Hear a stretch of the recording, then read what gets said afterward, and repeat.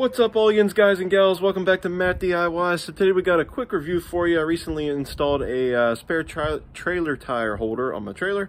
So I figured we'd go ahead and go over. It's actually a cheaper one from Harbor Freight, but I'm actually really impressed with it. So I thought I'd shoot a quick video. So uh, let's go ahead and dive in. But before we do, guys, if you like videos like this, reviews, how-tos, things like that, be sure to subscribe down below. Turn on those notifications so you know when I upload a video, which is about three times per week.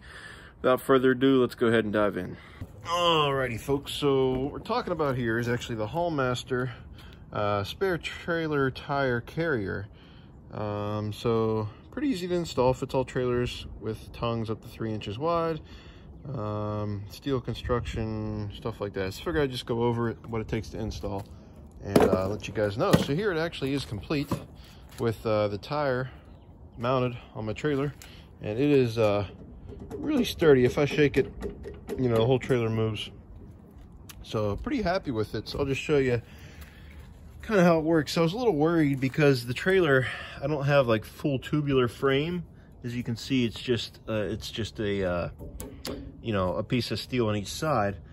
But I ended up, you know, I could have installed it there, but I ended up installing installing it on the uh, front fork here, um, where there's actually a piece on the top and the bottom as you can see. So that way it has something to grab onto. And it's pretty easy. It comes with uh, this main piece here, which is the mount. Um, and then you, it comes with all the hardware needed. And you put the bolts through the front end with the little bracket on the back. And then your uh, washer, lock washer, and nut on the back as well. One thing I did want to mention, and that I actually added to this, was on the front I actually added an extra flat washer. So I'm not sure if mine was missing some pieces or what, but uh, in the in the picture, it actually shows that there's a washer on the front side as well as the back side. Um, and I guess, you know, technically you could just put a lock washer on the back side, but I opted to hunt around in some hardware that I had, and I just added an extra flat washer to the front and then use the flat washer and lock washer it came with on the back. That way it's nice and sturdy and has a real nice grip um, and it's not just relying on the bolt head there to uh, to hold it on. But like I said, super sturdy uh, now that I have it tight. Of course, these are really long. Um, not much you can really do about that. I guess supposedly you could cut them off if you wanted to. Um, in my case, you know, because I may want to use this on a different trailer in the future, I don't have a problem with it. They're pointing inward here, and it's not affecting anything. And actually, the trailer is much wider than where the, the tire sticks out. So this is the perfect mounting location for it. And you can see I got lots of room up to the hitch there. So turning and things behind the car or truck, um, not gonna be an issue. So let's go around the front here. Again, pretty easy to install. You're just basically putting the brackets on the bar there and installing it. And then it comes with uh, two lugs, one, two, um, for the front side. Now, I found this interesting too. So these are actually wheel lugs. It looks like you could just, you know, screw it on.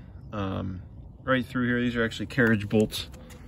On the back, you can see the uh, carriage bolt there. Um, so they're actually carriage bolts that hold it on. But what I actually did was um, they come with a lock washer and a flat washer as well. So I went ahead and used those um, with the bolt actually flipped around so the flat part is facing the washers. That way it just holds it on nice and snug because the uh, lug itself was actually a little small for my trailer tire. Um, but this doing it this way and this is actually the way that it shows in the pictures um, worked out fine and it holds it on great um, one thing to mention there's actually a a hole um, directly above this one. So if your trailer tire mounts that way um, but there's also another hole to the left and that happens to be how mine fit uh, with this to the left. And that's depending on your rim size or your bolt pattern um, and how it matches up. But it seems to be pretty flexible and match just about any um, trailer tire that you have. So this one here, uh, just to give you a reference, is a 205 75 15. So we got a 15 inch rim. Um, just a cheap, cheaper trailer tire off Amazon that I got um, that included the included the uh, rim and tire already mounted as well so I could just bolt it up and have an extra one. So if I'm going down the road sometime, um, you know, hit a nail or something, trailer tire pops, I'm not completely uh, SOL. Uh, to just take this guy off, throw it on, always carry tools with me, and uh, be right back on the road, uh, up and going. So, figured I'd do a quick review. Back up here, show you again.